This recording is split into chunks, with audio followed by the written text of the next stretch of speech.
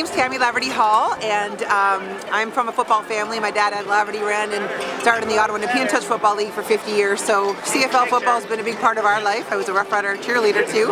Um, one of our great superstitions in the beginning is before a game, whether it's my dad's game in touch or CFL, we make sure the laces are up. Just like the laces are up, you put the hands on the laces, it gives you a perfect spiral, so hopefully it'll send you on to win.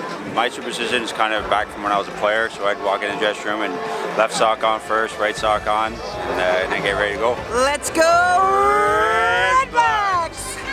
And our superstitions are Bob always has to stop at the soup guy and have the poutine soup, and I always have to go to the chocolate store. Go Blacks! 20 Cat fans. Uh, Ottawa's won three. We should win the last one. The most important one. The most important one. Every game we come down and we get a bacon on a bun before we go in because you have to have one.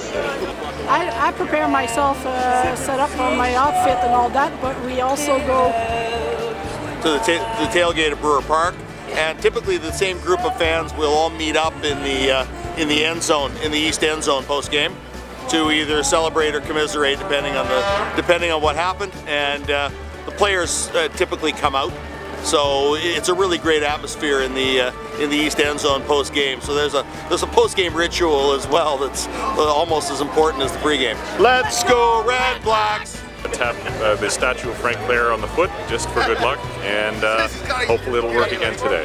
Um, his name was Mike. And all I do is look for a nice cold beer before the game, and then enjoy myself at the game. One, two, three, go Blacks!